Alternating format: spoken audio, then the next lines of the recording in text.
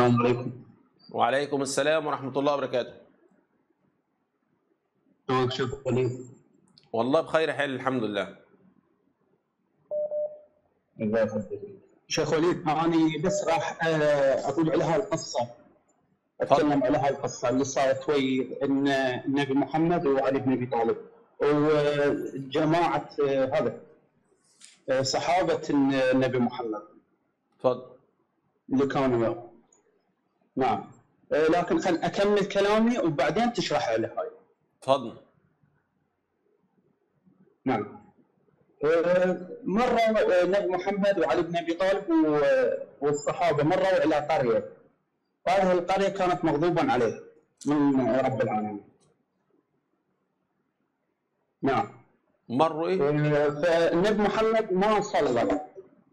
قال قال له قال ان لا اصلي في هذا فالانبياء والرسل قال عند الشيعة الانبياء والرسل لم يصلوا في لم يصلوا في قرية مغضوب عليها.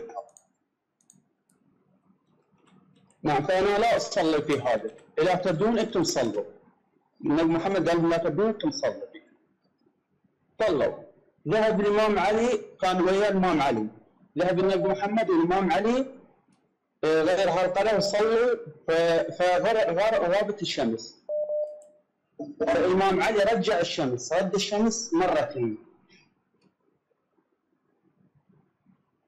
أيوه. وبعد ما رد الشمس؟ نعم. أيوه استفدنا بقى إحنا رد إيه؟ الشمس مرتين. امم نعم لكي يصلوا. امم وبع- وبعدين يعني استفدنا إيه حضرتك؟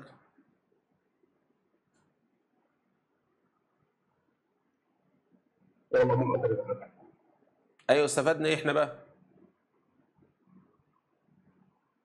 لا أقول لكم عفوا هم صلوا رد الشمس أيوه بعد ما رد الشمس. حضرتك بعد ما رد الشمس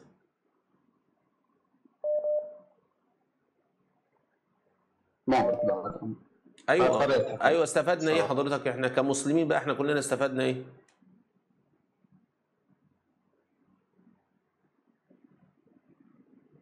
استفادنا الإمام علي هو رد الشمس أيوه بعد ما استفدنا علي. رد الشمس وبعدين طب علي بن أبي طالب رد أبو بكر وعمر وعثمان وقنفذ وخالد بن الوليد عن ضرب فاطمة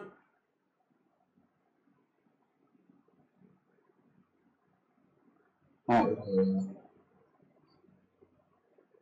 شكرا يعني رد الشمس أولى ولا رد هؤلاء أولى؟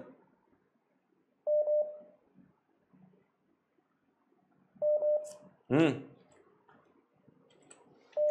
ما عندي جواب. له طيب ربنا يبارك فيك. المهم إن أنت راجل محترم. شكرا ليك.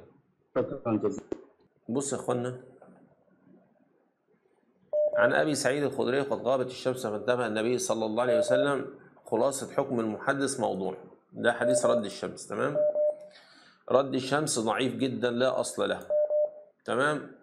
هنا حكم الحديث منكر إسنادا ومتنا. تمام؟ فالله المستعان. الشيء يروح يجيب لي حاجات. يلا خير.